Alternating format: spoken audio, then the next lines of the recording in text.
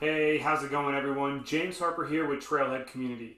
Last time you saw me on camera, I was speaking to you about how I believe 2020 was uh, going to be a challenging year and we were heading into the heart of a pandemic. Fast forward a few months, we're now done with summer, we're still in a pandemic, and we still need your help. The good news is we've been able to make an immense amount of progress thanks to supporters like yourself. Last time we needed your help to get through the DD, the design and development phase of our project. It's a critical, critical phase to making any building actually come to fruition, especially when you're building a very authentic and first of its kind community like we are. Well, we've gotten through that phase again, thanks to people like you.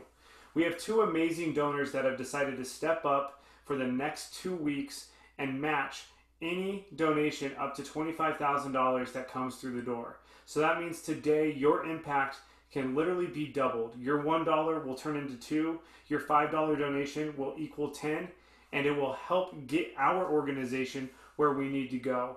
I always want to provide you guys with a quick update at where we're at. We have some amazing things on the horizon to announce to you. Really, we're in the ninth inning of this ball game at getting the community built. We're getting closer and closer to what we like to dream about, which is what we call our ribbon cutting day. That's where the doors actually open to the community. We have a bunch of new logistics and models and layouts on how the building's going to open up. We've been working immensely on programming, on qualification, on what the community's actually going to look like. And more than anything, we have a beautiful design of what the building and the layout is actually going to be that we look forward to sharing with you once we're allowed to. With that being said, 2020 has brought in upon us things that we've never seen before. I never even knew the term social distancing until a few months ago, and now it's became a standard by which we live by. Uh, 2020's limited our personal um, in-person events that we can actually hold uh, which is a big key part to our fundraising efforts. We've had a gala put on hold. We've had two to three other fundraisers completely canceled, and we're not sure when they're going to be back on the calendar.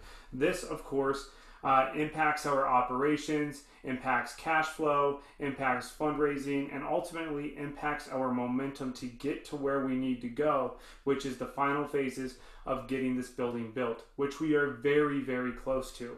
Again, thanks to supporters like yourself, you've gotten us to this point, and we're going to continue to ask and rely on you to get us across the finish line because I know you guys believe in this project as much as we do. It's a it's a building first of its kind. We know that there's 12,000 families in the state of Colorado right now with a loved one who has an intellectual disability living with a caretaker over the age of 65 and they don't know what they're going to do next as soon as that elderly caretaker can't provide for their loved one with DD.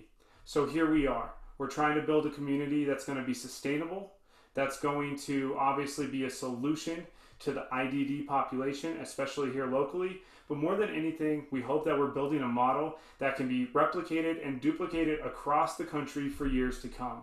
So today, I'm asking you to join our matching gift campaign with the link below and please double your impact. Allow your $1 to equal 2, your $100 to equal 200, your $5 donation to equal $10. Thank you guys. I look forward to seeing you guys soon.